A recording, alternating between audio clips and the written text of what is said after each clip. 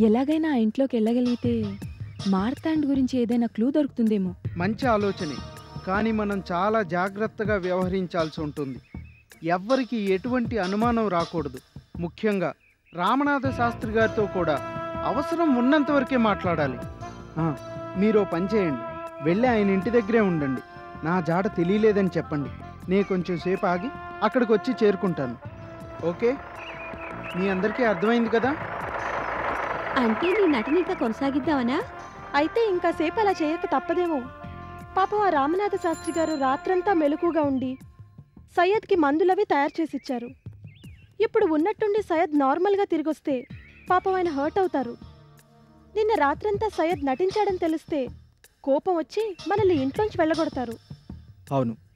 పైగా మార్తాండ్ గురించి మనకి ఇస్తానన్న సమాచారం కూడా ఇవ్వకపోవచ్చు. ఓకే సయ్యద్ మేము అక్కడికి వెళ్ళి ఉంటాం నువ్వు కాసేపు ఆగి అక్కడికి వచ్చేసాయి. Okay. Bye. Come on boy girls.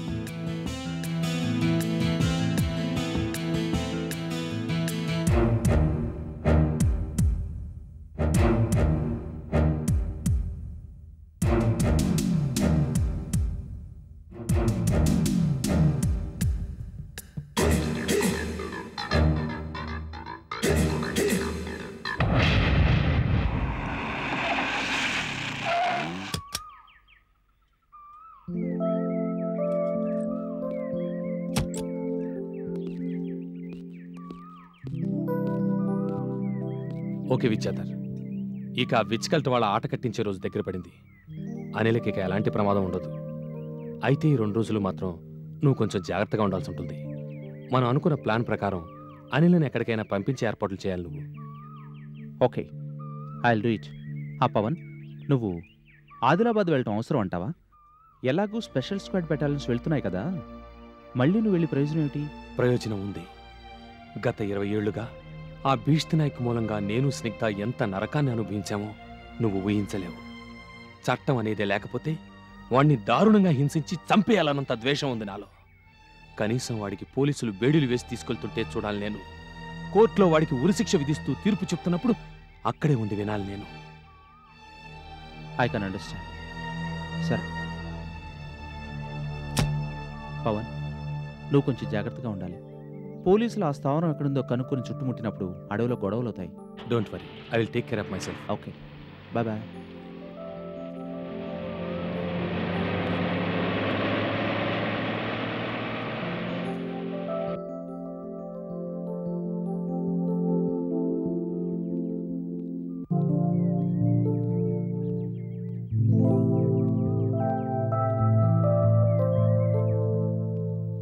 Bablu? Bablu. Pawan వచ్చేసావా? బబ్లు ఏడి? లేడు. ఇందాక యూనివర్సిటీకి వెళ్ళాడు ఏ? వాడితో అర్జెంటుగా మాట్లాడాలి. సరే సాయంత్రం వాడు వచ్చాక మాట్లాడతాను. ఏమైంది పవన్? Any problem? ప్రాబ్లం? మన ప్రాబ్లమ్స్ అన్ని తీరిపోతాయి స్నిగ్ధ. ఈ రెండు మూడు రోజులు మనం కొంచెం జాగ్రత్తగా వ్యవహరిస్తే మనకి ఇక ఏ సమస్యలు ఉండవు. అంటే? స్నిగ్ధ కరకింకర భక్తుల జాడ తెలిసింది. ఆదిలాబాద్ అడవుల్లో వాళ్ళ స్థావరం ఎక్కడుందో తెలిసిపోయింది. రెండు రోజుల నుంచి నేను విద్యాధర్ ఆ అడవుల్లో చాలా తిరిగాం. ఆ దుర్మార్గులు ఎక్కడ దాక్కున్నారో తెలుసుకునేందుకు చాలా ప్రయత్నించాం. ఇక లాభం లేదనుకుని తిరిగి వచ్చేస్తుంటే లక్కీగా ఓ ఫోటో రోల్ దొరికింది.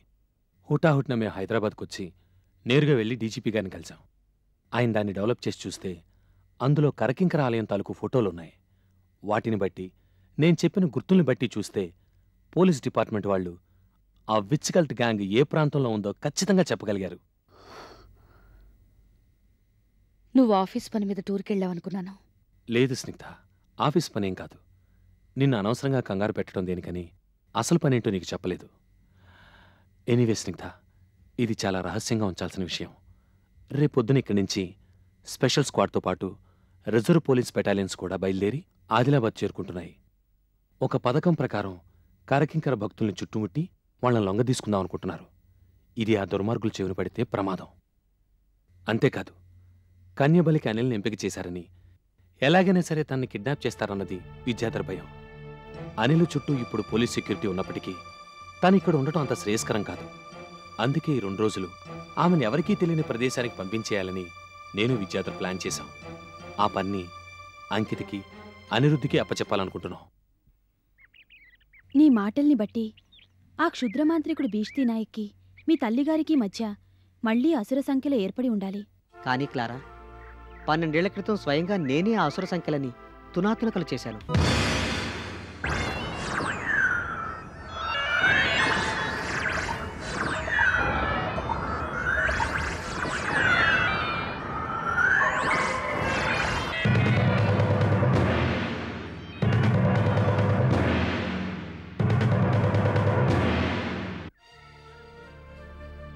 సక్రమంగా త్రుంచివేసిన అసుర సంఖ్యల సాధారణంగా మళ్ళీ ఏర్పడదు.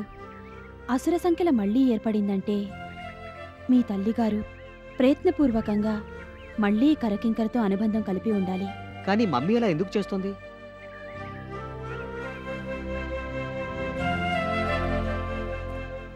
ఆ దుష్టమాంత్రిక సమూహం వలలో నుంచి అతి కష్టం మీద బయటపడగలిగిన స్నిగ్ధ ఇప్పుడు మళ్ళీ వాళ్ళ కేసు ఎందుకు ఆకర్షించబడుతుంది? వాళ్ళ నాయకుడు బీష్తీ నాయక్తో సఖ్యత ఏర్పరచుకోవడానికి ఎందుకు ఉబలాట పడుతోంది? దీనికి సమగ్రమైన సమాచారం త్రికాలజ్ఞ సూచికలో దొరుకుతుంది.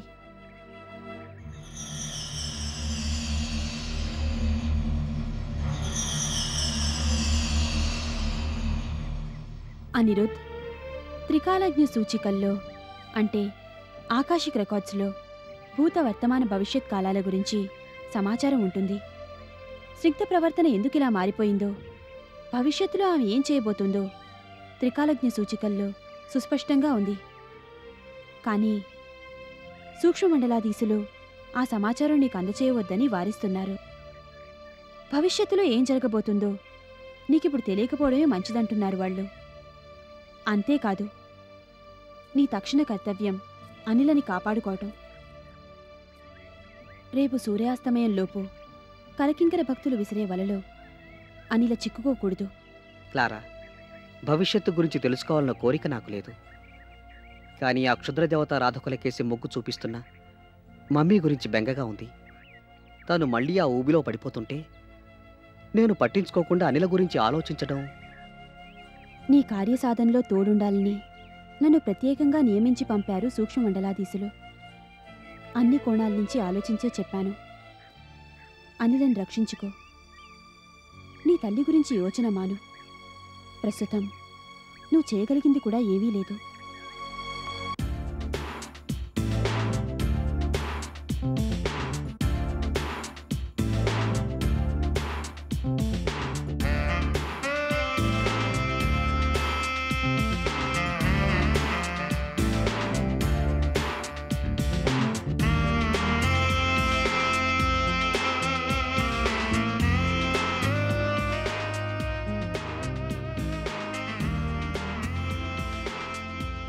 మాట్లాడారా? ఏమంటున్నారు పవన్ అంకుల్?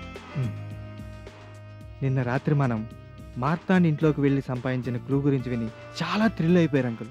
వెంటనే హైదరాబాద్ బయలుదేరి వచ్చామన్నారు. ఓ గ్రేట్! మనకు దొరికిన మ్యాప్ పవన్ అంకుల్కి ఇచ్చేస్తే మన రెస్పాన్సిబిలిటీ తీరిపోతుంది. నిన్న రాత్రి దొంగ తాళాలతో మార్తాండింట్లోకి వెళ్ళి సోదా చేయడం అది తలుచుకుంటే నాకు ఇంకా గుండె దడగా ఉంది. That was a big risk ఇంకా ఆలస్యం దేనికి? వెళ్దాం పదండి. మధ్యాహ్నం బస్ ఏదైనా ఉందేమో.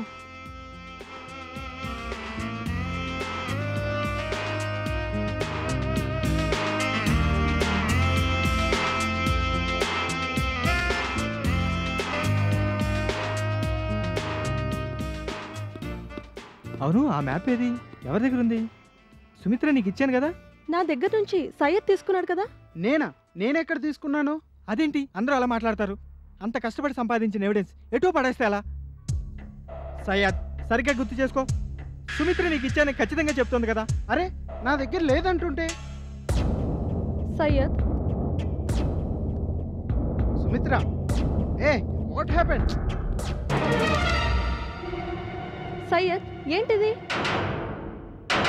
అరే ఇది నా జేబులోకి ఎలా వచ్చింది? పరధ్యానంగా పెట్టుకున్నానేమో. నీకు పరధ్యానం ఏమిటి Syed? I can't believe it it's alright Sumitra అసలు ఇంతకీ ఈ మ్యాప్ చూసి పవన్ అంకుల్ ఏమంటారు? మనం అనవసరంగా ఎక్సైట్ కావట్లేదు కదా? నాకైతే అలాంటి అనుమానాలు ఏమీ లేవు సురేష్. ఇది డెఫినెట్లీ కరకింకర ఆలయానికి రూట్ మ్యాప్. అడవిలో ఇది ఏ ప్రాంతంలో ఉందో పవన్ అంకిల్కి అయితే ఇట్టే తెలిసిపోతుంది. ఎంతైనా ఆర్కియాలజిస్ట్ కదా. సరే ఇక్కడే నిలబడి ఈ డిస్కషన్ అంతా ఏమిటి? పదండి. రామనాథ శాస్త్రి గారికి ఓ మాట చెప్పి బయలుదేరదాం. Come on Syed yeah coming Ankita చెప్పిన దాన్ని బట్టి చూస్తే నేను ప్రస్తుతం మమ్మీ అలా ఎందుకు ప్రవర్తిస్తుందో అన్న విషయం గురించి కాకుండా అనిలని ఆ క్షుద్ర మాంత్రికుల నుంచి ఎలా కాపాడుకోవాలో అన్న విషయం గురించి ఆలోచించాల్సి ఉంటుంది. వాళ్ళు ఆదిలాబాద్ అడవుల్లో ఎక్కడో ఉన్నారని చూచాయిగా తెలుసు. కానీ వాళ్ళ స్థావరం ఆ అడవుల్లో ఎక్కడుంది? వాళ్ళ పన్నాగం ఏమిటి? ఇందులో అంతగా ఆలోచించాల్సిందేమీ లేదనిరుద్ నిజానికి నీకు నా నుంచి ఎటువంటి సహాయం కూడా అవసరం లేదు. నీ చిన్నప్పుడు కరకంకరాలయం ఎక్కడుందో అస్ట్రల్ జర్నీ చేసి తెలుసుకోగలిగావు. ఇప్పుడు కూడా కొత్తగా కట్టిన ఆలయం ఎక్కడుందో అలాగే తెలుసుకోవచ్చు. సూక్ష్మ మండలాల్లో అప్పట్లో నాతో పాటు మస్తానమ్మ వచ్చేది. పైగా అప్పుడు కరకింకర ఆలయంలో మమ్మీ బందీగా ఉండేది. కాబట్టి నా ట్యూనింగ్తో అక్కడికి క్షణాల్లో చేరుకునేవాణ్ణి. కానీ ఇప్పుడు పరిస్థితి అది కాదు. ఎటువంటి ట్యూనింగ్ లేకుండా కరకింకర భక్తుల రహస్య స్థావరం ఎక్కడుందో తెలుసుకోవడం అసాధ్యం కాకపోయినా చాలా కష్టమైన పని అవుతుంది. సూక్ష్మ శరీరంతో ప్రయాణం చేయలేకపోయినా ఏముందని రుత్?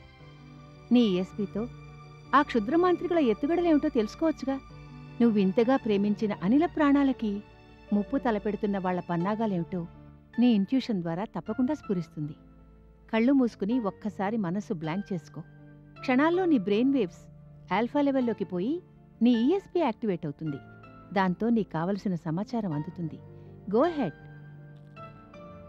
అంటే వెంటనే ప్రయత్నించమన్నా మీ ఉద్దేశం? అవును అనిరుద్ ఆలస్యం దేనికి? నీలోని అతీంద్రియ శక్తులు ప్రాక్టికల్గా ఉపయోగపడకపోతే అవి ఉండి ప్రయోజనం ఏమిటి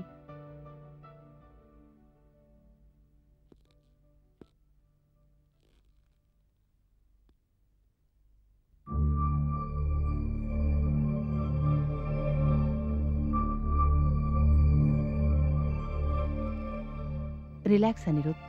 పూర్తిగా రిలాక్స్డ్గా కూర్చో. దేని గురించి ఆలోచనలు పెట్టుకోవద్దు. నువ్వు ఊహిస్తున్నట్టు కరకింకిర భక్తులు ఏదైనా హాని తలపెట్టే ప్రయత్నం మీదుంటే అది నీకిప్పుడు వెంటనే తెలుస్తుంది. Just relax. That's all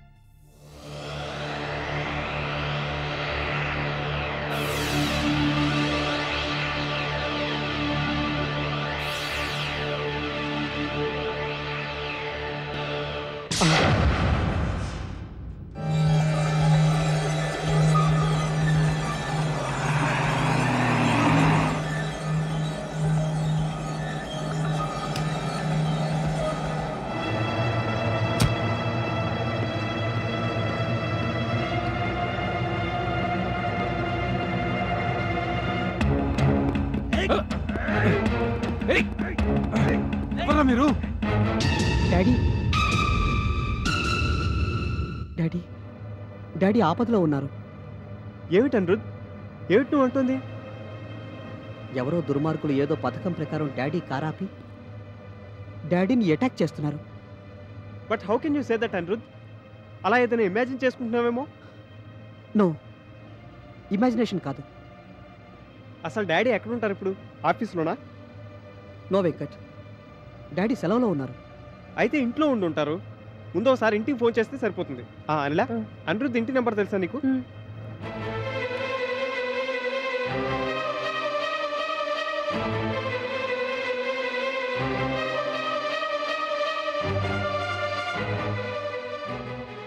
ఎవరూ పికప్ చేయడం లేదేమిటి? ఇంట్లో ఆంటీ కూడా లేరా? మమ్మీ బయటికి ఎక్కడికైనా వెళ్ళిందేమో.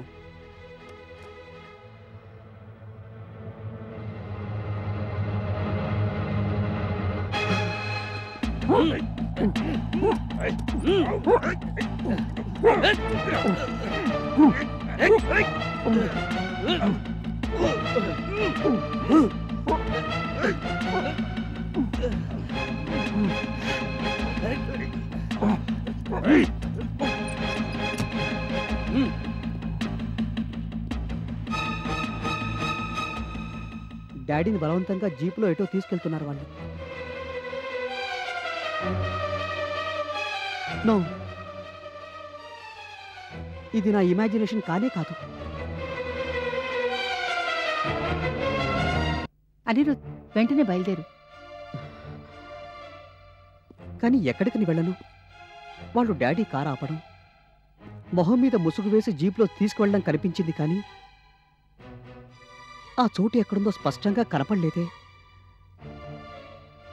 నిర్మానుష్యమైన ప్రాంతం. చుట్టూ కొండలు. ఎక్కడ ఉంటుంది? జూబ్లీ హిల్స్? మాదాపూర్? కొండాపూర్? గచ్చిబౌలి ఎక్కడ? Oh god! నేను వెంటనే ఆ ప్లేస్ తెలుసుకోవాలి. లేకపోతే లేకపోతే అనిరుద్ అప్పట్లో నా కోసం పెండ్యులం పట్టుకొని వెతికేవాడివి. ఇప్పుడు డాడీ ఎక్కడున్నారో? ఆ పద్ధతిలో కనుక్కోలేవా? I think it's possible. Please try. అవుననిరుద్ పెండ్యులంతో ప్రయత్నించు. నీ దగ్గర పెండ్యులం ఉందిగా?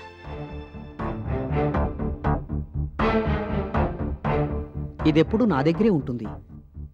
కానీ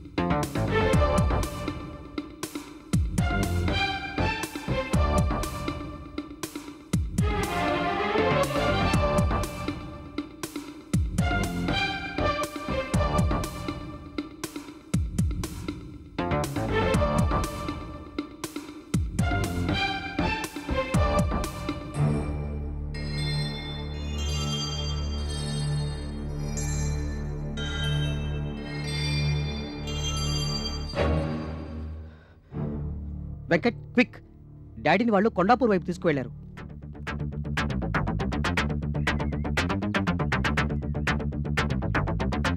కమాన్ వెంకట్ మనం వెంటనే అక్కడికి చేరుకోవాలి.